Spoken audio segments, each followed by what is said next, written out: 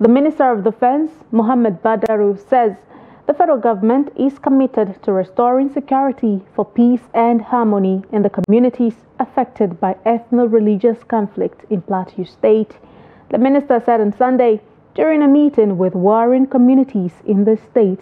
Trustee Ado Musa has more.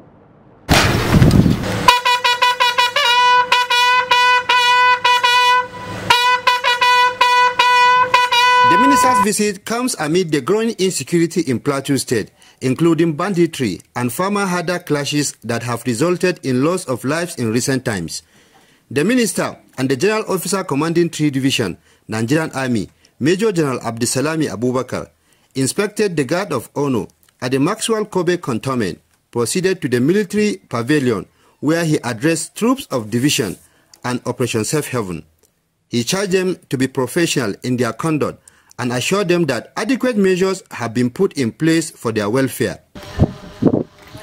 I really want to acknowledge through your efforts the numerous reforms that you have received from the bad guys, as well as ammunition. And you have posted so many local arms producing factories. We thank you for that effort. We urge you to continue to do same, and we urge you to end it and end it now. Are we ready to end insecurity in the plateau? Yes, sir. The minister also engaged stakeholders in various local council areas, including Wase, Bokkos, Barkiladi, Mangu and Riyom, on how to find lasting solutions to the perennial insecurity in the state. Meeting, you have seen the representative of the governor sitting. Uh, you have seen the security agencies.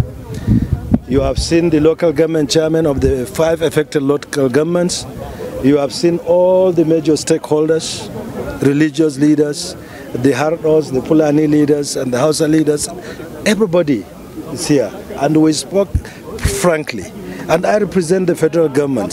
There are recommendations that are being uh, sent to the state, are recommendations that the federal government will look into. General Officer Commanding 3 Division, Nigerian Army, Major General Abdulsalam Abubakar, described the minister's visit as timely, saying the Nigerian Army has put in place measures toward handling the conflicts in the state. Your esteemed presence here today will add personal touch and impetus to the deliberations. This meeting will also afford the Honorable Minister of Defense another unique opportunity to appraise both the kinetic and non-kinetic efforts which we have employed towards protecting the lives and property of the citizenry. Other stakeholders said they look forward to a peaceful coexistence among ethnic groups in the state. Well, one of the major things we noticed is just an issue of understanding. Issue of understanding, one, between all the parties involved, and then secondly, trying to get people to give or accept some concessions in order for us to have you know, genuine peace within the state. I think it's turning out to give us the best of uh, what we are looking for for quite a long time. That's peace. And, uh, you know, we succeed by discussing uh, on a round table and by the discussion today, it has proven that uh, by coming together, we will achieve the desired goal.